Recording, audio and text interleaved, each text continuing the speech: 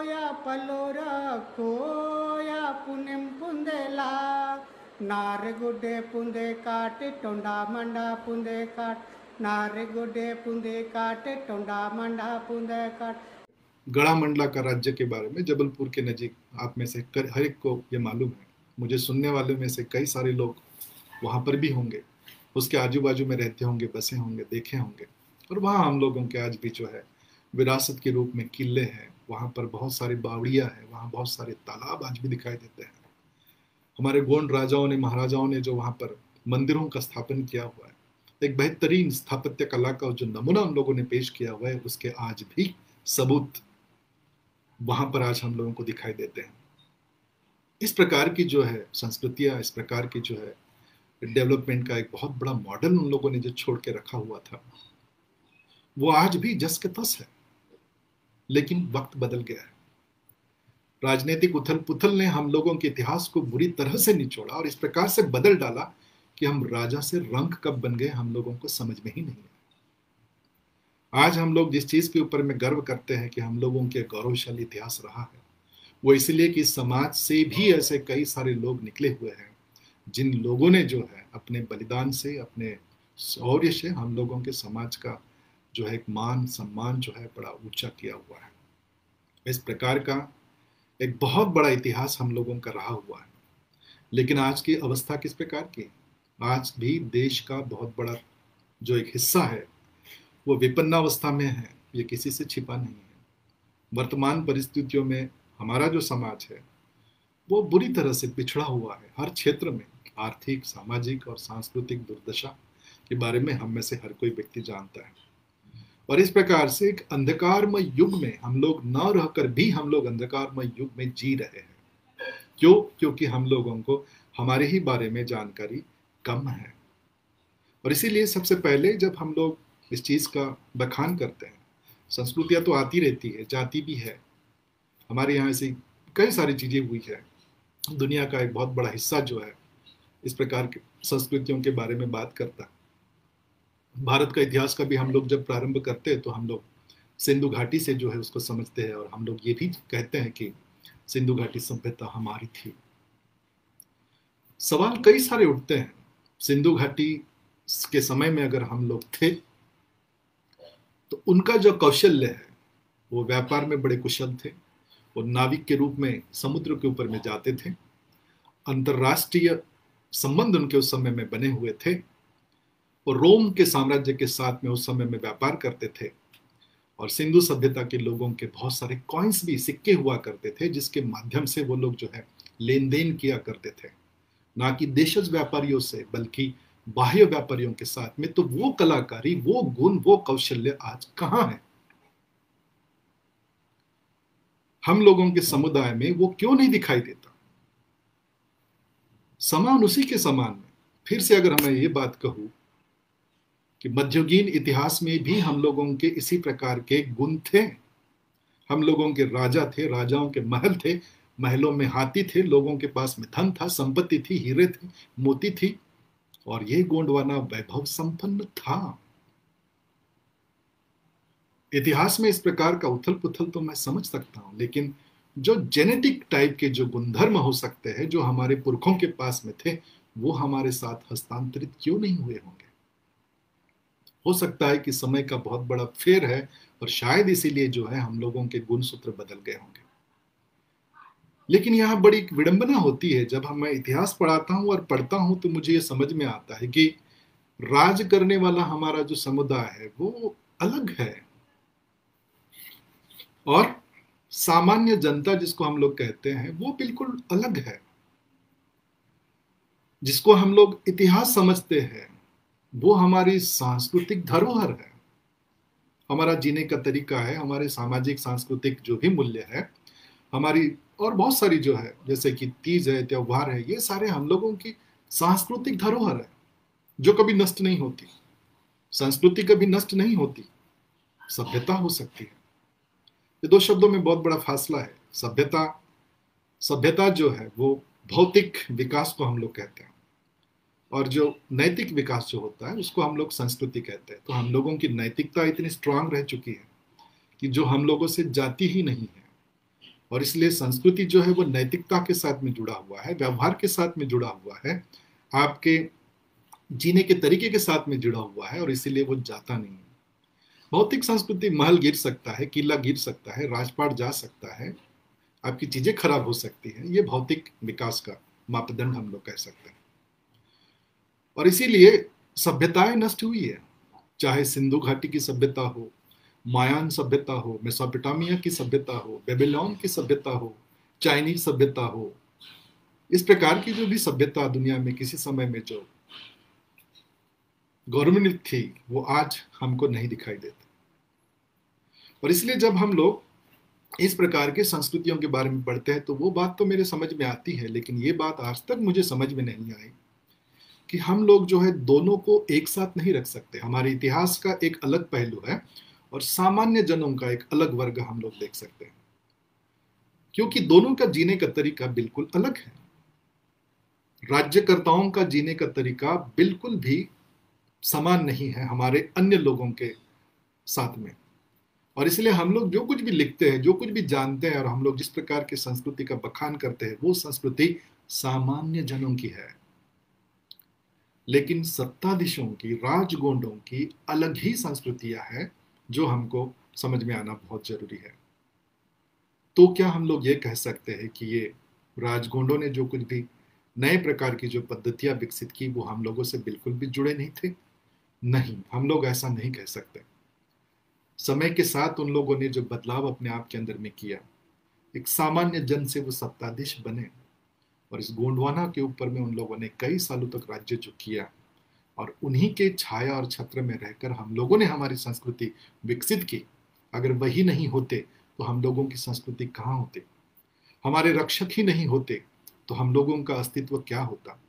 और इसलिए हम लोगों को इस चीज़ को समझना पड़ेगा कि वो चाहे जैसे भी रहे होंगे, लेकिन सामान्य जन उस समय में सुखी था। सामान्य जन उस समय में जो है शांति प्रिय जीवन जी रहा था, उसके पीछे में जो सबसे बड़ी ताकत उस समय में थी, वो हम लोगों के पुरखे जो राजे और महाराजे थे, इसलिए। गोडवाना के बारे में हम लोग जो जैसे पढ़ते हैं कि अंग्रेज़ों ने जो उसको नाम दिया हुआ, उसके भूखंड के बारे में बहुत सारी थेरीज हम लोग पढ़ते हैं।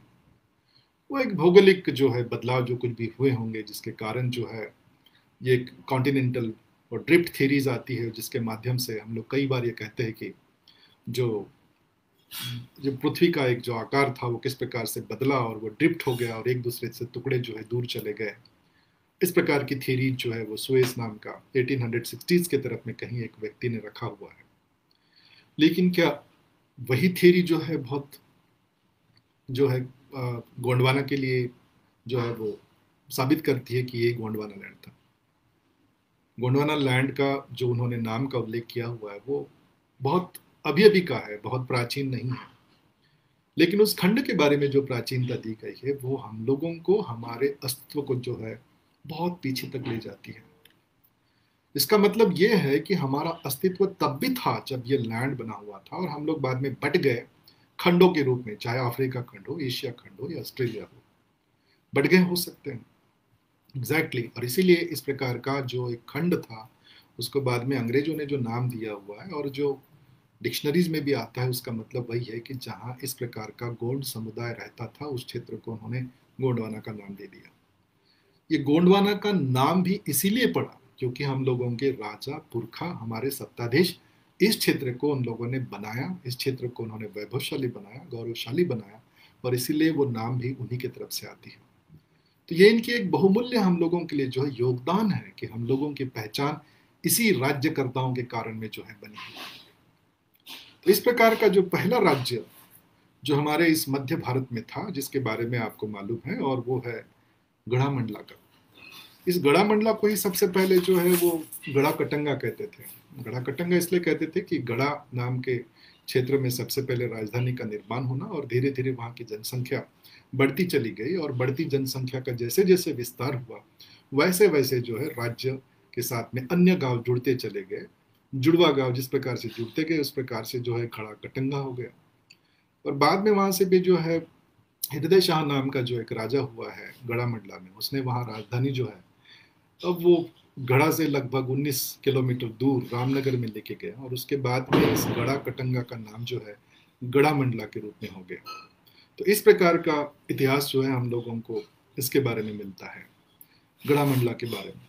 गड़ा मंडला में जो राजा थे, इनकी प्राचीनता बहुत पुरानी है। इनकी प्राचीनता इस प्रकार से बताई जाती है कि जो विस्तार है उनका, उसी से हमको समझ में आता है कि गड़ा मंडला का साम्राज्य कितना बड़ा रहा होगा। जबलपुर है, नरसिंहपुर है, मंडला है, छिंदवाड़ा है, शिवनी, दमोह, बालाघाट, ऐसे बहुत सारे जिलों का समावेश उसमें होता था। पन्ना ज़िले का कुछ हिस्सा, दक्षिणी हिस्सा उसमें था। सागर ज़िले का, बिना नदी का पूर्व हिस्सा उसमें आता था। बिलासपुर ज़िले में पश्चिम में स्थित प्रतापगढ़ पंडरिया की जमींदारी उसके अंदर में आती थी। होशंगाबाद ज़िले का भी जो है, तवा नदी के पूर्व का भूभाग उसमें आता था। और इधर हमारे विदर्भ का जो है, भंडारा ज़िले का उत्तरी अर्धांश जो है, उसी के अंतर्गत आता था। दुर्ग ज़िले का पश्चिमी भूभाग भी जो इसमें आता था। खैरागढ़, रियासत और खटोली जमींदारियाँ भी उसी के हिस्से में आती थी। और नागपुर ज़िले का भी जो है, पेंच नदियों के पूर्व का हिस्सा जो है वो भी गड़ा मंडला का साम्राज्य में आता था। और इसीलिए गड़ा मंडला साम्राज्य जो है वो सिर्फ़ जबलपुर और उसके आजू बाजू के परिवार, परिवेश के साथ में नहीं जुड़ा हुआ था। ये चौड़ाई में और लंबाई में बहुत बड़ा साम्राज्य था। और कहा जाता है कि उस उन राजाओं की जो सूची दी गई है इतिहास में, वो बड़ी लंबी है। और इस लंबे जो है, इस प्रकार का जो साम्राज्य रहा है, उसका जो संस्थापक था, उसको यादोराय 1370 के करीब उनका उद्भव हुआ, इस प्रकार का बोला जाता है। उन्हीं को जो है यादू राय को जादू राय कहा गया हुआ है, उन्हीं को दादी राय भी कहते हैं, उन्हीं को जो है अचल दास के नाम से भी जाना जाता है। और उसके बाद में एक लंबी जो लिस्ट है गड़ामंडला के इतिहास का, जिसमें बहुत सारे हैं, जैसे कि गोरक्ष दास है, संग्राम शाह, दलपति शाह दलपति शाह कहीं ही पत्नी जो है वीरंगना, दुर्गावती जी थी, और उनके पुत्र जो है वीर नारायण थे, इस प्रकार का इतिहास। उसके बाद में तो बहुत सारे नाम हैं। चंद्र शाह, मधुकर शाह, प्रेम शाह, हृदय शाह, छत्र शाह केशरी शाह, हरि सिंह, पहाड़ सिंह, नरेंद्र शाह, महाराज शाह, शिवराज शाह और पता नहीं, बहुत सारे। तो ये जो नामावली या इस प्रकार की जो वंशावली हम लोग जो देखते हैं, इन लोगों ने कई लंबे समय तक 1200 या 1300 ईस्वी, तेरहवीं सदी में अगर उन लोगों ने राज्य किया हुआ ऐसा बोला जाता है। तो वो तो एक श्रृंखला था, विकास का सबसे उच्चांक वाला समय जिसको हम लोग कह सकते हैं। एक ऐसा समय जहाँ पर जो है राज्य के रूप में वो प्रस्तापित हो चुके थे, उसको हम लोग यहाँ पर गिनती में लाते हैं। लेकिन उस प्रकार के विकास के अवस्था में आने से पहले उन लोगों ने जो कुछ भी संघर्ष किया होगा, उसके बारे में हम लोगों के पास में जानकारी नहीं है। और इसलिए महज हम लोग उनको 200 साल 300 साल उन लोगों ने राज किया, ऐसा नहीं कह सकते। उससे पहले उन लोगों ने जो कुछ भी संघर्ष किया होगा, वो भी एक बहुत बड़ी बात हो जाती है। और इसीलिए कहा जाता है कि गड़ा मंडला में जो है, अब उसको अलग अलग नाम से, गोंड समुदाय के जो है, मड़ावी, मरावी, मंडावी, इस प्रकार के नामों से जो है उनको जाना जाता है। तो ये हम लोगों के गोत्र का एक जो है गोत्र है, और जिसकी सत्ता जो है वहाँ पर बनी हुई है। आज भी इस मध्य भारत में इस प्रकार के सरनेम्स जो इस प्रकार के गोत्र हमको कई मिलते हैं। इससे हमको ये समझ में आ जाता है कि ये जनसंख्या इस प्रकार के गोत्रों ने यहाँ पर यहाँ बसे होंगे, यहाँ रहे होंगे। और इस प्रकार का योगदान उन लोगों ने जो दिया हुआ है, वो बहुत बेहतरीन है। गढ़ा मंडला का जो साम्राज्य है, वो कई वर्षों तक तो स्वतंत्र था। जैसे लगभग 84 साल, यानी लगभग 100 साल के करीब में जो है, उनके ऊपर में किसी प्रकार का, किसी भी व्यक्ति की, किसी भी राजा का अधीन था, उसके ऊपर में नहीं थी। वो आज़ाद थे, वो स्वतंत्र थे, इस प्रकार का इतिहास बताया जाता है। यानी लगभग 1480 से लेकर तो पंद्रह के बीच में, लगभग चौरासी साल तक जो है, ये साम्राज्य जो है बिल्कुल आज़ाद था। लेकिन पंद्रह के बाद में धीरे धीरे जो है वो मनसबदारियों के अधीन आ गया, लेकिन वो भी एक नॉमिनल था। कहते हैं कि मुगलों के अधीनस्थ वो लोग आ गए थे, उनका हम लोगों ने जो है वर्चस्व कबूल किया हुआ था। इस प्रकार का, लेकिन उस समय में भी जो है, मुगलों के उनके ऊपर में जो वर्चस्व था, वो बहुत ज़्यादा मज़बूत नहीं था। क्यों मज़बूत नहीं था? वो इसलिए मज़बूत नहीं था क्योंकि उनकी दूरी बहुत ज़्यादा थी। राजधानी से इस प्रकार के गोंडवाना के अंतर्गत भागों में नियंत्रण करना मुगलों के लिए भी बिल्कुल आसान नहीं था। और इसलिए उन लोगों ने पूरी तरह से गोंडवाना को पराजित न करते हुए उन लोगों ने यहाँ पर जो है अपनी वर्चस्व बनाए रखी। इस प्रकार का हम लोग देखते हैं। तो यही वो गड़ा मंडला का साम्राज्य था जिसने सबसे पहले जो है यहाँ पर एक गोंड शासन पद्धति का विकास किया। और इस गोंड शासन पद्धति का विकास करते हुए उन लोगों ने कुछ कॉपी भी की है। एग्जैक्टली exactly, शासन चलाने की जो नीतियाँ है उन लोगों ने सुल्तानों से पढ़ी है उन लोगों ने मुगलों से पढ़ी हुई है और वहाँ जिस प्रकार के दरबारी हुआ करते थे उसी प्रकार की दरबारी इन लोगों ने अपने राज्यों में रखे हुए हैं। वहाँ जिस प्रकार की मनसबदारी हुआ करती थी, उसी प्रकार की जागीरदारी, उसी प्रकार की जमींदारी इन लोगों ने गढ़ा मंडला के क्षेत्र में भी प्रस्तावित किए हुए हैं। तो हमारी शासन प्रणाली जो है, ये कई लोगों को समझ में नहीं आता। इतिहासकारों को ये बात हजम ही नहीं होती, क्योंकि मुगलों के साम्राज्य को जब हम लोग पढ़ते हैं तो वहाँ ईरानी, तुरानी पतानी अफगानी, ऐसे अलग अलग प्रकार के मनसबदार, सरदार हम लोगों को देखने को मिलते थे। उन लोगों को नियुक्त करना पड़ता था, उन लोगों को पद देना पड़ता था, ओहदा देना पड़ता था, उन लोगों को जो है वेतन देना पड़ता था, जागीरें देनी पड़ती थी। हमारे यहाँ ऐसा बिल्कुल भी नहीं था। गढ़ा मंडला के शासन में जितने भी किलेदार हुआ करते थे, जितने भी जमींदार हुआ करते थे, ये राज सत्ता के करीबी और रिश्तेदार हुआ करते थे, जिनको पेमेंट्स देने की ज़रूरत नहीं पड़ती थी। यहाँ एक विश्वास हुआ करता था कि जब राजा बोलेगा संकट के समय रहेगा और उसको मदद करने की ज़रूरत पड़ी तो दौड़कर जो है जमींदार और उनके जो वतनदार लोग हैं, वो आ सकते थे और उसके लिए उन लोगों को कुछ अलग से पेमेंट करने की ज़रूरत नहीं हुआ करती थी। और इसलिए हम लोगों के यहाँ पर लिखा पढ़ी करने की ज़रूरत नहीं पड़ती थी।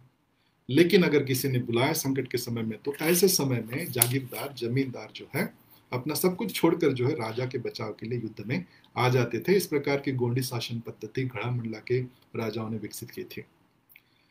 और इस प्रकार का बहुत बड़ा योगदान हम लोगों को दिखाई देता है इनका, जिसमें मुगलों की अधीनता इन्होंने पूरी तरह से स्वीकार नहीं की थी। बहुत, मैंने नॉमिनल जिसको नाम मात्र हम लोग कह सकते हैं, ऐसी अधीनता उन्होंने रखी ताकि वो आज़ादी के साथ में काम कर सके। गढ़ा मंडलांग के राजाओं ने अपने प्रजा के ऊपर में नाम मात्र का कर रखा। उन्होंने बहुत ज़्यादा उनसे, उनका कोई शोषण उन्होंने नहीं किया। उन्होंने नाम मात्र कर रखा और जिसके कारण प्रजा उस समय की सुखी थी। उन्होंने प्रजा ने कभी राजाओं के खिलाफ में जो है विद्रोह करने का कोई इतिहास हमको नहीं मिलता। ऐसा क्यों? क्योंकि प्रजा के ऊपर में अत्याचार लोगों ने किया नहीं वो सुखी थी और इसीलिए जो है गोंडवाना जो है लोगों के पास में पैसा था, लोगों के पास में धन था, संपन्नता थी और इसीलिए गोंडवाना जो है एक सदन राष्ट्र के रूप में उस समय में खड़ा था। आज तो गोंडवाना को लूटने वाले, खसोटने वाले कई सारे लोग दिखाई देंगे, लेकिन एक वो समय था गोंडवाना में जो गोंड राजा लोग जो राज्य कर रहे थे, उनके समय में सुरक्षित राष्ट्र निर्माण हो चुका था। लोगों का विश्वास अपने राजाओं के ऊपर में था और इसीलिए उस समय की जो प्रजा है, वो अपनी निष्ठा, अपनी जो भी ईमानदारी है, लोगों के, राजा के प्रति दिखाने के लिए हम लोग जिस प्रकार के शब्दों का आज इस्तेमाल करते हैं, जय सेवा। जय सेवा का मतलब क्या होता है? क्या आप में से कई सारे लोग जानते होंगे? मुझे मालूम नहीं कि ऐतिहासिक दृष्टिकोण से अगर हम लोग इस शब्द को पढ़ते हैं तो उसका मतलब होता है कि sacrifice to the service to nation service to raja service to Gondwana. तो उस समय में सेवा किसका करेंगे? राजा की करेंगे, राज्य की करेंगे, समुदाय। लेकिन आजकल हम लोग उसका उपयोग जो है, समुदाय की सेवा के रूप में करते हैं क्योंकि आज हम लोगों के राजपाट नहीं है। और इसलिए जय सेवा, इस प्रकार का हम लोग जो बात करते हैं तो उसके पीछे में ऐतिहासिक दृष्टिकोण से जब हम लोग देखते हैं तो उस शब्द का मतलब होता है service to raja service to land Gondwana land service to community आज हम लोग उसको कहते हैं, इस प्रकार का। उसी के अलावा एक और वर्ड का इस्तेमाल आज हम लोगों के बीच में प्रचलित है। इतिहास से ये वर्ड आते हैं, जय जोहार, इस प्रकार का शब्द का प्रयोग हम लोग करते हैं।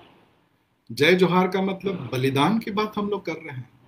हमारे पुरखों ने पर्टिकुलरली चौरागढ़ में जो कुछ भी हुआ था, आप लोगों को याद होगा कि रानी महारानी दुर्गावती के बलिदान के बाद में वहाँ की जो भी महिलाएँ थी, उन लोगों ने जो कुछ भी जोहर किया था, अपने आप का बलिदान उन लोगों ने कर दिया था। उस बलिदान को याद करने के लिए हम लोग उस शब्द का इस्तेमाल आज भी आदान प्रदान करते हैं, प्रणाम करने के लिए करते हैं। सेवा जोहार बोलते हैं हम लोग। इसका मतलब क्या होता है?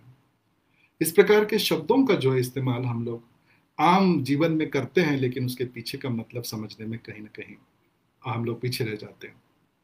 इसी प्रकार का एक और चिन्ह के बारे में, राज चिन्ह के बारे में आप में से कई लोगों ने पढ़ा होगा। जितने भी किले हैं मध्य भारत के अंदर में, चाहे चांदागढ़ में हो गढ़ा मंडला में हो खेरला में हो, देवगढ़ में हो, हर जगह जो है, हमको एक जो चित्र दिखाई देता है, प्रवेश द्वार के ऊपर में या उसके लेफ़्ट एंड राइट में, कहीं ना कहीं हमको दिखाई देता है कि हाथी के ऊपर में जो है शेर बैठा हुआ है।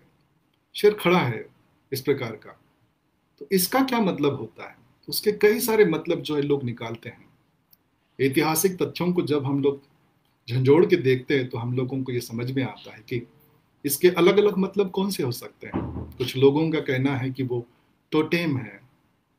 जैसे कि शेर टोटेम वालों ने जो है, हाथी टोटेम वालों को पराजित किया होगा। इसीलिए इस प्रकार का चित्र जो है, वो अंकित किया गया। ऐसा कुछ लोगों का कहना है। कुछ लोग कहते हैं कि वो वैसा नहीं है। मध्य भारत का एक बहुत बलशाही जो राज्य था, उसको शेर जैसे और उससे अधिक ज़्यादा शक्तिशाली और शौर्य दिखाने वाले किसी और गोत्र ने जो है उनके ऊपर में कब्जा किया हुआ ऐसा भी उसका मतलब लोग निकालते हैं। इतिहास में अलग अलग है। और गढ़ा मंडला के राजाओं ने जो सिक्के उस समय में चलाए थे, चांदी के सिक्के, तांबे के सिक्के, उनमें उन्होंने जो अंकित किया हुआ है, उसमें वो दिखाते कि शेर का जो है पंजा ऊपर में उठा हुआ है। तो जिसका मतलब क्या होता है कि वो एक बलशाही ताकत का जो है वो या शूर या फिर वीर इस प्रकार का हम लोग जो शब्द प्रयोग कर सकते हैं। इस प्रकार के समुदाय को जो है प्रतिनिधित्व करने वाला शब्द के रूप में या प्रतीक के रूप में राज चिन्ह जो है इस्तेमाल किया गया हुआ है। आज मैं आप लोगों के सामने में ये नहीं बता पाऊँगा कि उसका सही मतलब क्या है, उसके अलग अलग मतलब हो सकते हैं। कुछ लोग ये भी कहते हैं कि हाथी जो है वो शाकाहारी है और शाकाहारी को नियंत्रित करने के लिए मांसाहारी जो है प्रतिनिधित्व करने वाला। यानी शाकाहारी का जो एक सबसे बड़ा प्रतिनिधित्व करने वाला प्राणी के रूप में हाथी है और उसका नियंत्रण करने के लिए जो है मांसाहारी शेर का जो है इस्तेमाल किया होगा। ऐसे कई सारे एंगल्स है और इतिहास में जब हम लोग इसे पढ़ते हैं तो हमको ये समझ में आता है कि इसके क्या क्या मतलब हो सकते हैं। लेकिन इतिहास में तथ्यों के आ, कमी के कारण या सबूतों के कमी के कारण किसी निर्णायक बात पर आना बड़ा कठिन होता है। और इसीलिए जब हम लोग ये गढ़ा मंडला का इतिहास जब पढ़ रहे थे तो इसमें उन लोगों की उपलब्धियाँ बहुत सारे हम लोगों को दिखाई देती है। गढ़ा मंडला के राजाओं की एक सबसे बड़ी उपलब्धि ये भी रही है कि इन लोगों का स्थापत्य जो है, ना वो हिंदू है, ना वो मुस्लिम है। एक अलग प्रकार का स्थापत्य कला उन लोगों ने प्रदर्शित किया हुआ है। और इसीलिए गोंड राजवंशों के द्वारा बनाए गए किले जो है ये किसी और से मिलते ही नहीं है। ना वो हिंदू स्थापत्य कला के हिसाब से है, ना मुसलमान स्थापत्य कला के द्वारा है। इसलिए गौण स्थापत्य कला एक अपनी अलग अलग अलग भूमिका जो है, दर्शाते हुए हम लोगों को दिखाई देता है। गोंड राजवंशों ने केवल किले और इसी के माध्यम से, मकबरों के माध्यम से अपनी स्थापत्य कला नहीं दिखाई। आप में से कई लोगों ने देखा होगा कि जिस जिस क्षेत्र में गोंडों के साम्राज्य रहे हैं, वहाँ पर सैकड़ों तालाब आज भी दिखाई, तालाब दिखाई देते हैं। बावड़िया दिखाई देते हैं, कुएँ दिखाई देते हैं, मंदिर दिखाई देते हैं, भवन दिखाई देते हैं और ये चीख चीख कर जो है गोंडवाना के इतिहास को बखान करते हैं। कमी शायद हमारे जैसे ही लोगों में रही है कि हम लोग उनके शैली को समझ नहीं पाए, उनके इस प्रकार के तालाब और बावड़िया खोदने के पीछे में उनका क्या मकसद था, वो हम लोग समझ नहीं पाए और इसलिए सही तरीके से हम लोग उनको लिख नहीं पाए। बावड़िया को जिस प्रकार से बनाई जाती थी कि वो सिर्फ़ इंसानों के लिए नहीं होते थे। उनके पास में हाथी थे, घोड़े थे। ये भी जो है, जाकर पानी पी सके बावड़ियों में, इस प्रकार की व्यवस्था के कारण जो है, वो एक स्टेप वाइज स्टेप वेल जिसको बोला जाता है, इस प्रकार के स्टेप्स वेल्स उन लोगों ने बनाए हुए थे। इंसानों का ही सिर्फ़ उन लोगों ने विचार नहीं किया हुआ था तो वो जानवरों का भी विचार उन लोगों ने उस समय में रखा हुआ था। तो ऐसे कई सारे जो है उपलब्धियाँ गड़ा मंडला के राजाओं के उस समय में रही है। और गड़ा मंडलों की सबसे बड़ी जो एक धरोहर के रूप में उन लोगों ने, हम लोगों को जो दिया हुआ है, वो यही प्रजा की भलाई वो करना जानते थे शांति प्रिय जीवन वो लोग जीना चाहते थे, और इसलिए अपने राज्य प्रस्तावित करने के बाद में किसी और के राज्य के ऊपर भी नज़र उठाकर भी वो नहीं देखते थे।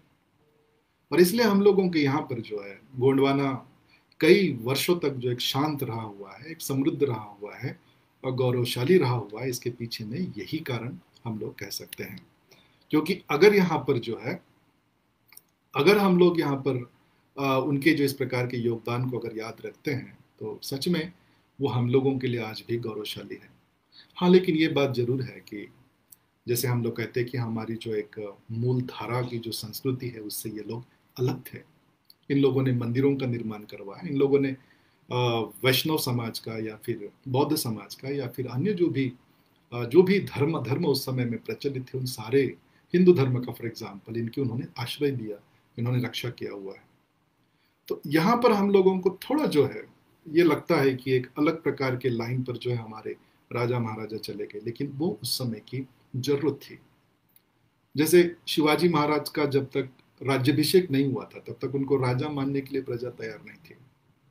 और इसलिए उस समय में जो जिस प्रकार की व्यवस्था थी, जिस व्यवस्था की हम लोग बात कर रहे हैं, बारहवीं सदी, तेरहवीं सदी, चौदहवीं सदी, उस समय में तो धर्म ग्रंथों का ही बोलबाला था।